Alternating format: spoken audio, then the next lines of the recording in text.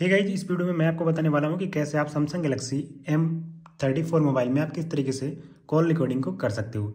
दोस्तों call recording करना बहुत ही सिंपल है, मैं आपको बताता हूँ। आपको कॉल रिकॉर्डिंग करने के लिए इसमें फीचर मिल जाता है तो आपको क्या करना है? सबसे पहले डायलर में जाना है।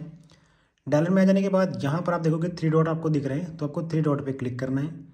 इस पर क्लिक करने के बाद यहाँ पर एक ऑप्शन मिल जाएगा सेटिंग का तो आपको सेटिंग पर क्लिक करना है। अब देखिए, यहाँ पर एक ऑप्शन मिल रहा है रिकॉर्ड कॉल्स इस पर क्लिक करना है।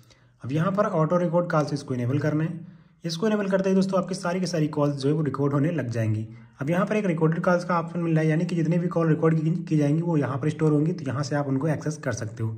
तो इस तरीके से दोस्तों आप यहाँ पर कॉल रिकॉर्डिंग को इनेबल कर सकते हो।